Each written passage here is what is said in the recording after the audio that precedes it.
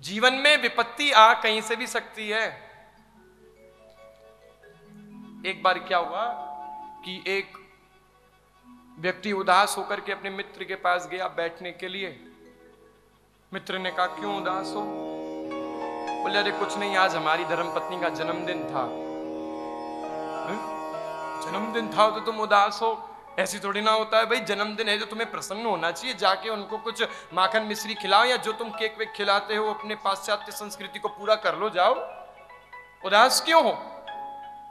बोले, अरे, मैं क्या बताऊँ? मैंने सारी तैयारियाँ करी और केक कटते ही तो झगड़ा हुआ है। ये केक ही तो नाश का कारण बना है। बोले, क्यों? उनको तो प्रसन्नता होनी चाहिए। तुमने इतनी अच्छी तैयारी करी, बोले, मैं क्या बताऊँ भैया, तैयारी के चक्कर में ही आज हम रह गए। प्रेम से बोलो। ऐसो कहा, भयो। तो बोले, हमने तो भैया जो केक बनाने वाले हैं, उनसे कहा था कि जन्मदिन है हमारी धर्म पत्नी का और हमारी धर्म पत्नी को नाम है तपस्या। क्या नाम है? ज़ोर से बोलो।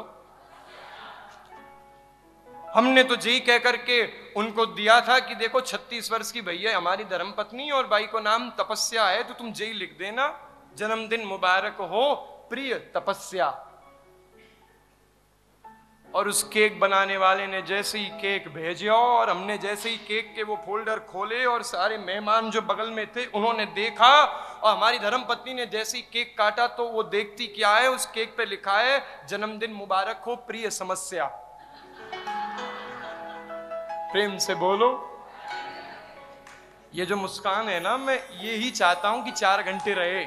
चुटकुला सुनाना मेरा अभिप्राय नहीं है। मेरे श्रोताओं के चेहरे पे मुस्कान लेकर आना मेरा अभिप्राय है। इसलिए मुस्कुराओ। प्रेम से बोलो।